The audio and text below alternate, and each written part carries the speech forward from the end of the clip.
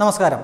ഏതാനും ദിവസങ്ങൾക്ക് മുമ്പ് കോഴിക്കോട് പി എഫ് ഐ അതായത് പോപ്പുലർ ഫ്രണ്ട് ഓഫ് ഇന്ത്യയുടെ നേതൃത്വത്തിൽ വലിയൊരു റാലി നടത്തിയിരുന്നു. റിപ്പബ്ലിക്കിന് വേണ്ടി എന്നൊക്കെയാണ് അവർ പറയുന്നത്. ഏത് റിപ്പബ്ലിക്കിന് വേണ്ടിയിട്ടാണെന്ന് എന്ന് അവരോട് തന്നെ ചോദിക്കേണ്ടിയിരിക്കുന്നു. നമുക്കറിയാവുന്ന ഒരു റിപ്പബ്ലിക് റിപ്പബ്ലിക്ക് ഇന്ത്യൻ റിപ്പബ്ലിക്കാണ്. എന്തായാലും അവരുടെ ഒരു ആശയം വെച്ചിട്ട് ഇന്ത്യ റിപ്പബ്ലിക്കിന് വേണ്ടിയിട്ടായിരിക്കുകയല്ല ഇനി അവർക്ക് വേറെ എന്തെങ്കിലും റിപ്പ റിപ്പബ്ലിക്ക് ഉണ്ടാക്കാനുള്ള വല്ല പ്ലാനുണ്ടോ എന്നറിയില്ല. പക്ഷേ ആ ഒരു റാലിയിൽ എടുത്തു പറയേണ്ട ഒരു കാര്യം ഈ കേരളത്തിലെ ഏറ്റവും വലിയ പാർട്ടിയായ സി പി എം വിചാരിച്ചാൽ പോലും പറ്റാത്ത രീതിയിലുള്ള ജനപങ്കാളിത്തം അവർ ആ റാലിയിൽ കാണിച്ചു. പ്രത്യേകിച്ചും സ്ത്രീകളും കുട്ടികളും. ഞങ്ങൾ അന്ന് തന്നെ ഈ ഒരു വിഷയത്തെപ്പറ്റി വീഡിയോ ചെയ്തിരുന്നു. ഞങ്ങൾ പറഞ്ഞിരുന്ന ഒരു കാര്യമുണ്ട്. ഞങ്ങൾ പങ്കുവച്ചിരുന്ന ഒരു ആശങ്കയുണ്ട്. അതിപ്പോൾ അക്ഷരാർത്ഥത്തിൽ ശരിയാണ് എന്ന് തെളിയുകയാണ്. ഞങ്ങൾ അന്നേ പറഞ്ഞിരുന്നു തീർച്ചയായിട്ടും പല പാർട്ടിയിലായിട്ട് വർക്ക് ചെയ്യുന്ന അല്ലെങ്കിൽ സ്ലീപ്പർ സെല്ലിനെ പോലെ ഒളിച്ചു കഴിഞ്ഞിരിക്കുന്ന പല പാർട്ടിയിലായിട്ട് ഒളിച്ചു കഴി കഴിഞ്ഞ് കഴിയുന്ന ഇവരുടെ അംഗങ്ങൾ. ഇവർക്ക് ശക്തി തെളിയിക്കേണ്ട ഒരു സമയം വരുമ്പോൾ ആ ശക്തി കാണിക്കാൻ വേണ്ടി എസ് ഡി പി അല്ലെങ്കിൽ പി എഫ് ഐ എന്ന ഒരു കൂടക്കീഴിൽ വന്ന് അണിനിരക്കുന്ന കാഴ്ചയാണ് നമ്മൾ കണ്ടതെന്ന്.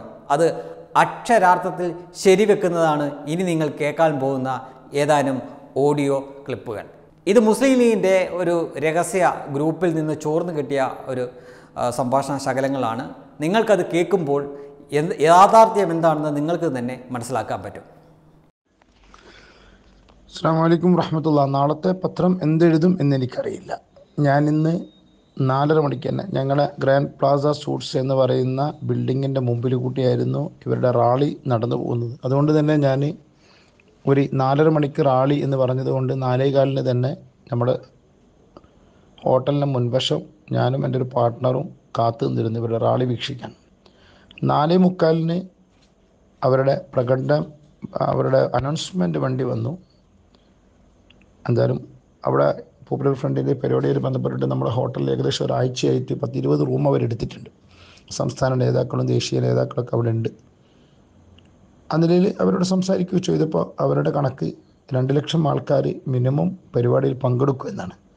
അത് കണ്ടതുകൊണ്ട് തന്നെ ഞാനത് കാണണം നേരിൽ കാണണമെന്ന് ആഗ്രഹിച്ചിട്ടാണ് ഞാൻ നേരെ നാലര മണിക്ക് തന്നെ എന്റെ പണിയിൽ ഒഴിവാക്കി അവിടെ നിന്നത്. നാലേ മുക്കാലോട് കൂടി അനൗൺസ്മെന്റ് വണ്ടി പാസ്സായി. അതിനുശേഷം വളണ്ടിയർ മാർച്ച് തുടങ്ങി. ഒരു സംഭവം തന്നെയാണ് ഇവർ ഇവരങ്ങനെ നിഷ് എഴുതി തള്ളാനൊന്നും പറ്റില്ല എനിക്ക് തോന്നുന്നില്ല ഇത്ര വലിയ അട അടുക്കും ചുറ്റിയോട് കൂടി പിന്നെ ഒരു മുസ്ലിം ലീഗിന് പോലും ഇങ്ങനെ ഒരു സം ഒരു സംവിധാനം ഉണ്ടാക്കാനോ ഒരു സമ്മേളനം നടത്താനോ സാധിക്കും എന്നെനിക്ക് തോന്നുന്നില്ല. അവരുടെ സംസ്ഥാന നേതാക്കളോട് ഞാൻ സംസാരിച്ചവരോട് ഞാൻ ചോദിച്ചു. എന്നാൽ അവർ പറഞ്ഞു പാലക്കാട് മുതൽ തുടങ്ങുന്ന ഏഴ് ഡിസ്ട്രിക്റ്റിന്റെ മാത്രം പരിപാടിയാണിത്.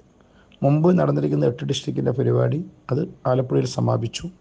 ഇത് വെറും കാസർഗോഡ് കണ്ണൂർ വയനാട് കോഴിക്കോട് മലപ്പുറം പാലക്കാട് തുടങ്ങുന്ന ഏഴ് ജില്ലയുടെ പരിപാടിയാണ്. എത്രയാണ് ജനലക്ഷങ്ങൾ എവിടുന്നാണ് ഇവർ ഇത്രയധികം ആളെ സംഘടിപ്പിച്ചത്? ആണുങ്ങളെക്കാൾ കൂടുതൽ പെണ്ണുങ്ങൾ എന്ത് ജനസമുദ്രമാണ്. ഞാൻ ഈ അടുത്ത എനിക്ക് തോന്നുന്നില്ല എന്റെ ജീവിതത്തിൽ ഇത്രയധികം ജനങ്ങൾ ഒരുമിച്ച് മക്കത്ത് പോകുമ്പോൾ ഹറമി കണ്ടിട്ടുണ്ട് അജിന് ഇത്രയധികം ജനങ്ങൾ ഒരു പരിപാടിക്ക് വന്ന് സംഗമിച്ചത് കണ്ടിരുന്ന ആദ്യമാണ്. അക്ഷരാർത്ഥത്തിൽ തിരിച്ചുപോയി. അതുകൊണ്ട് തന്നെ ഞാൻ കടപ്പുറത്ത് പോയി ഇവരുടെ പ്രസംഗവും കേട്ടു. ഇപ്പം തിരിച്ച് വീട്ടിലെത്തിയത്.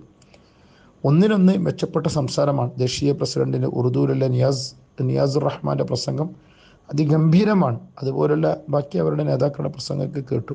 കടപ്രവും ജന നിബിഡമാണ് ഒരിഞ്ച് സ്ഥലമില്ല ഏത് ദൂരത്ത് നിന്നാലും അവർ ഫ്ലക്സ് വെച്ചിട്ടുണ്ട്. അതുവഴി നമ്മുടെ പരിപാടി പൂർണമായിട്ട് കാണുന്ന സംവിധാനവും ഒരുക്കിയിട്ടുണ്ട്. ഏറെ അത്ഭുതം തോന്നി ഈ പരിപാടിക്ക് പോയപ്പോൾ.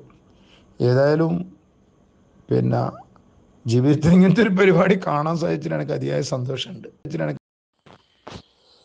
മജീദ് കൈവിട്ട കളിയാ മോനെ. പെണ്ണുങ്ങളെ കൊണ്ടൊരു കളി ഇതെന്നാടോ കോഴിക്കോട് പടച്ച തമ്പുരാനെ. ഞാൻ വഖഫിന്റെ സമ്മേളനത്തിന് പോയോനാ ഞാൻ ബൈക്ക്. ഇത് ശരിക്ക് അക്ഷരാർത്ഥത്തിൽ ഇളക്കി മറിച്ചു എന്ന് പറഞ്ഞിട്ടാൽ സംഭവമായി കേട്ടോ. ഇത് ഞാൻ മൂന്നര മണിക്ക് വിട്ടതാ അവിടുന്ന് കോഴിക്കോട് നിന്ന് ഇവിടെ എത്തിയത് ഏഴ് മണിക്കാട്ടാ. വമ്പിച്ച ജനാവലിയാണ്. ഏ? ഇത് ഇവനിങ്ങനെ ഇപ്പം അടുത്ത കാലത്തല്ലോ ഈ ചായയും പായംപൊരിയും പായമ്പൊരിയും കൊടുത്തിട്ട് ആളെ കൂട്ടിയ വെറുതെ ഒന്നല്ല കുഞ്ഞും മോനെ. ചേരിപ്പോയിലുള്ള തീർത്ത് കുട്ടികളുണ്ടല്ലോടാ. ഇവർ ചായയും പഴംപൊരിയും കൊടുത്തിട്ട് പിന്നെ വീട് വീട്ടിൽ ആർ എസ് എസ് കയറിയിട്ട് വീട്ടിൽ കയറിയിട്ട് അക്രമം കളിക്കുമ്പോൾ ഒരു ലീഗാറും വരില്ല. ഞാളെ ഓടി വരും എന്നെല്ലാം പറഞ്ഞ് മാക്കി മാക്കി മാക്കി കുട്ടികളെ കംപ്ലീറ്റ് ഒരു വലിച്ചിക്കില്ല ഇവിടുത്തെ? എല്ലാ ഭാഗത്തുള്ള കുട്ടികളില്ലേ ആടാ? ലീഗിന് കൊടി പിടിച്ച മക്കളായി കാണുന്നു ഇങ്ങനെ പോക്ക് പോയ മജീദ് ഇതെന്താ അവസ്ഥ? ഇതിവിടെ എത്തിച്ചേരുക നമുക്കൊന്നും തിരിയുന്നില്ല കേട്ടാ. ആ. ഇന്റെ എന്റെ നേതാവ് ഇങ്ങനെ നടന്ന് വേർക്കുന്ന് ഇങ്ങനെ ഒരു ബൈക്കിന്ന് കൊഴിഞ്ഞു കൊഴിഞ്ഞു പോന്ന് നടന്ന് മുന്നേറുന്ന്. ഇവലാന്നെങ്കിൽ ഇങ്ങനെ ചായയും കടിയും കൊടുത്ത് ഇങ്ങനെ വല്ല ബൈക്കിന്ന് ഇങ്ങനെ കുട്ടികളെ ചാക്കിട്ട് കൊണ്ടുവന്ന് ഇതെന്നാ മജീദ് ചെയ്യാ ഇങ്ങനെ പോയാൽ എനിക്കൊന്നും തിരിയുന്നില്ല കുഞ്ഞുമോനെ. കോഴിക്കോട് അക്ഷരാർത്ഥത്തിൽ ഞെട്ടിച്ചു ഞെട്ടിച്ചു എന്ന് പറയുന്ന സംഭവം ശരിയാട്ടോ ഞാൻ നേരിൽ കണ്ടതാ. മൂന്നര മണിക്കൂറാണ് കോഴിക്കോട് സിറ്റിയിൽ നിന്ന് പുറത്ത് കിടക്കാനെടുത്ത് അറിയാ? ഓ ഒന്നും പറയണ്ട. ഞാനിപ്പോൾ കുറേ കാര്യം ഒന്ന് കാണുള്ളൂ എന്ന് എനക്കും തോന്നുന്നത്. കാരണം ഇന്ന് ബസ്സിൽ കയറിയത് ഭൂരിഭാഗവും ഇവിടെ കണ്ട പണ്ടത്തെ മുസ്ലിം ലീഗുകാരെയാ ഓലെ മുസ്ലിം ലീഗാറെ കുട്ടികളാ. ഇന്ന് മുസ്ലിം ലീഗിന്റെ ഭാരവാഹിയായി നിൽക്കുന്ന പലരുടെയും കുട്ടികളെ എന്ത് ചെയ്തിട്ടുണ്ട്? കുട്ടികളെ പേരക്കുട്ടികളെല്ലാം ഇന്ന് ബസ്സിൽ കണ്ടിട്ടുണ്ട്. അപ്പൊ ഇനി പറഞ്ഞത് ശരിയാണെന്ന് എനിക്കും തോന്നുന്നു റിയാസെ. കാരണം ഇതല്ലോ ഒരു നാണയത്തിന്റെ രണ്ട് വശങ്ങളാണ്. എന്നിട്ട് ഇവിടെ വന്നിട്ട് സ്റ്റേജ് കയറിയിട്ട് ഇവർക്കെതിരെ ആയത്തു അതീസു എല്ലാവർക്കും ഇവർ മുസ്ലിം ലീഗുകാർ എന്നാൽ സ്വന്തം മക്കളടക്കം പാർട്ടിയിലുണ്ട് എന്താനും അപ്പോൾ ഇതിലൊന്നും ഒരു ഉദ്ദേശ ശുദ്ധി ഇഷ്ട ഒരു ഇഞ്ചി പോലും ഇല്ല. തീവ്രവാദത്തിന് എതിർക്കുന്നതെന്ന് പറയുകയും ചെയ്യൂ. എന്നാലോ എല്ലാവരും ആ പാർട്ടിയിലും പോടി ഈ പാർട്ടിയിലും പോടി എന്ത് കച്ചവടമായത് വലിയ ബോട്ട് കച്ചവടം നടത്തുകയും ചെയ്യും. അതിനൊന്നൊരു മടിയും ഉണ്ടാവുകയില്ല. എന്നിട്ട് എതിർക്കലിനൊരു കുറവും ഉണ്ടാവില്ല ഈ ഒരു അവസ്ഥ ഇപ്പൊ ടി വി പി പറഞ്ഞ ശരി അതെല്ലാം ഞാളങ്ങ് ആയിക്കോളും. കാരണം നിങ്ങൾ ആക്കുന്നുണ്ട് സ്ഥിരമായിട്ട് ആക്കുന്നുണ്ട്. എതിർക്കൽ വേണ്ടെന്നേ ഉള്ളൂ നമ്മളിപ്പം പറയുന്നത്. നിങ്ങൾ ഇനി ഇവരെ എതിർക്കുന്നൊരവസ്ഥ നിങ്ങൾക്ക് ഉണ്ടാകണ്ട. ഇനി ഇവരെ സപ്പോർട്ട് ചെയ്തങ്ങ് പറഞ്ഞാൽ മതി. കാരണം നിങ്ങളെല്ലാം പലരുടെയും മക്കൾ ഈ പാർട്ടിയിലുണ്ട് ഇപ്പോ. എതിർത്തിട്ട് കാര്യമില്ല നടത്തോ ഞങ്ങൾ അന്ന് പങ്കുവെച്ച ആശങ്ക നൂറ് ശതമാനം സത്യമാണ് എന്നാണ് ഈ സംഭാഷണങ്ങളിൽ നിന്നൊക്കെ നമുക്ക് മനസ്സിലാവുന്നത്. അവർക്ക് തന്നെ അറിയാം.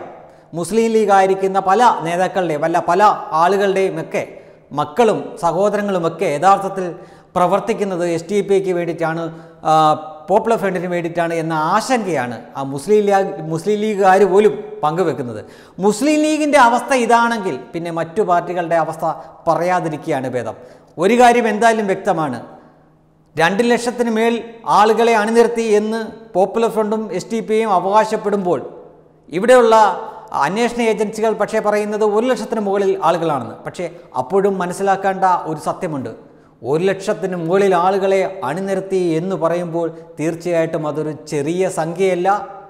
തിരഞ്ഞെടുപ്പുകളിൽ അവർക്ക് ഇതിന്റെ പത്തിലൊന്ന് വോട്ട് പോലും കിട്ടാറില്ലാത്ത സമയത്താണ് ഇത്രയേറെ കുട്ടികളെയും സ്ത്രീകളെയും അണിനിരത്തിക്കൊണ്ട് അവർ ഇത്ര വലിയ ഒരു റാലി നടത്തിയത് എന്നതാണ് ശ്രദ്ധേയം.